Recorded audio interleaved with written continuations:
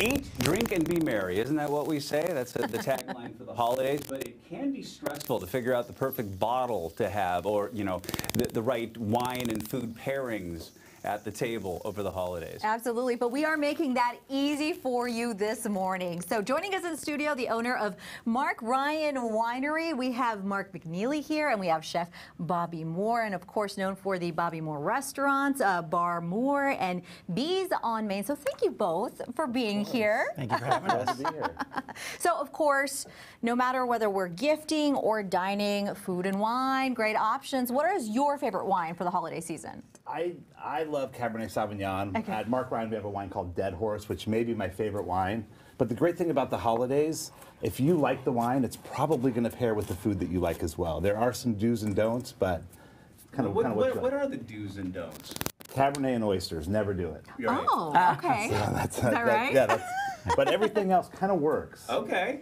All So- right. And so, what, what about like an easy drinking everyday wine? If you're going to go into your cellar and grab a bottle, what, what's kind of the go-to? Well, we have at Mark Ryan, we have five labels under our umbrella, so we cover a lot of different price points and styles. So I really think our Monkey Wrench wine is fantastic. We've got a wine called Board Track Racer Cabernet, which is very good.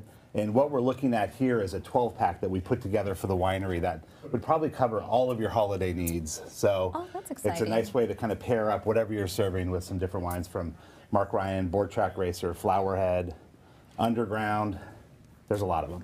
All right. Well, Chef Moore, though, if we are planning something festive like a meal, whether it's for a small group or a party, what do you like? Well, right now, I'm just so excited about fall and the holidays coming up. Um, and this is a dish that actually Mark and I have made together many, Oh, many times.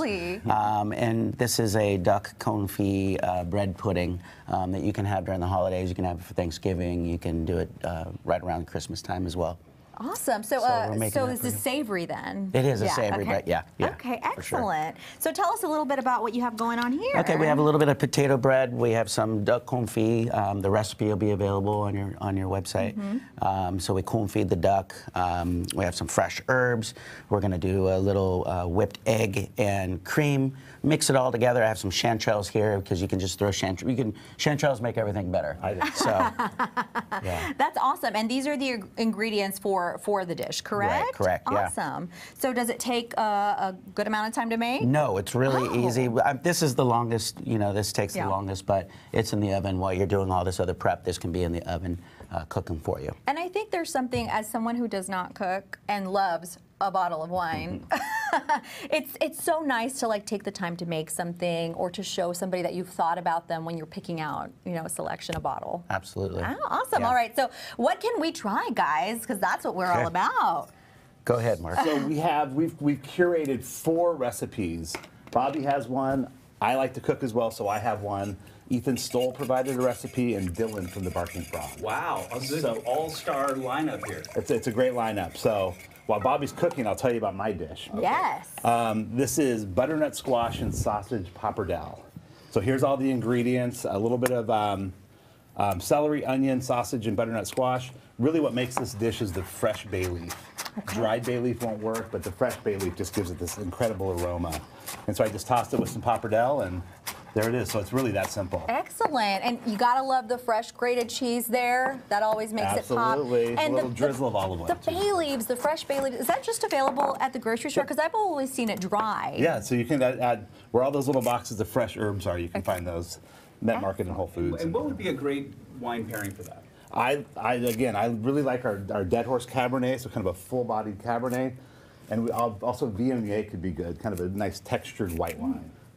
Excellent. And you were showing us some of your favorites. You have to tell us about the wine named after your daughters. We, I, I, I said I would never do this, but now I, I have a, uh, I have a, a line called Lou and Oli. So these are named after my daughters Lucia and Olivia, and I, I found a great local artist named Kyler Martz who did some labels for us. So this is some sparkling Chardonnay that we did under their label.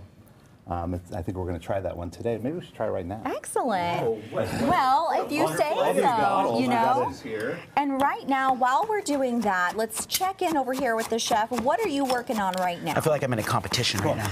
Yes. Okay, Bobby, so three minutes. we've got eggs and cream whipped up. Okay, we have a little salt and pepper. We have some fresh herbs. We're using thyme, some Italian parsley, and some chive. Just putting that all in there, whipping that up.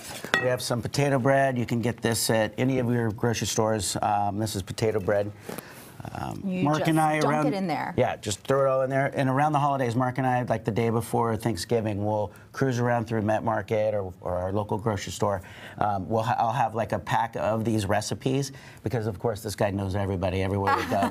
so we'll, he'll introduce me to people, and I'll just hand out recipes, and then we cook this Oh, up. it's so, so great. cool. Yeah. So we just fold all this together and um, uh, pop it into a little pan. Um, you can use like a nine by nine or something like that at home, but I use this little. You get the little Creuset cutie things, yeah. So it cooks uh, 350 degrees for about 20, 25 minutes, um, and then you can serve that up with, you know, a little cranberry chutney or, or something like that. And I love how fast it is, but it, I mean, it looks very fancy, you know? So you want to impress some people, that's how you do it. yeah, exactly. This this dish to me tastes like the holidays in one bite. Really? It does. It really takes care of everything. I'm just I don't know if, if, you're, if we're able to do this or not. Yes, but let's. I thought we, we can't really It's cook right without here. having Oh, a glass of right. this. Exactly. So maybe a, a, a little Oh, and cheers. cheers to the I like holidays. cheers to the holidays. okay. That's good. Get me over here. Excellent. I see you, I appreciate you, I acknowledge you. I love that. Oh, that's delicious. Oh, So this is just sparkling Chardonnay. It's just it's A little bubble for the Yeah, holidays. Little, Yeah. A little bubble. Yep. Yeah. It's not overwhelming. It's not overwhelming, but it's got that great Chardonnay fruit Yeah. and richness and Mm-hmm. great acidity and minerality that you expect to find in Washington wines. And so, Bobby, for that little treasure there, what would you recommend Uh, preparing? Oh yeah, the uh, board track racer all the way, uh, Sauvignon Blanc or Sauvignon, uh, Cabernet Sauvignon, Mm-hmm. um, and then also Flowerhead is a, a great one. So, yeah. Always good. And and when it comes to food and wine pairings, this guy, he's a champion. Oh yeah, No, it's we have history. We have Well, history. the, the, you and I. la- the last time we worked together, I was a judge at a food and wine pairing competition with all-star chefs from around the town. You talk about a great gig. But Bobby came out on top in that one. That was we, fantastic. we had some fun on that. Yeah, that was Yes. great. And we were on the beach. Yeah, it was pretty good. Champion. He did it! Champion. I know, we need a, a gold belt. I know. Hold it.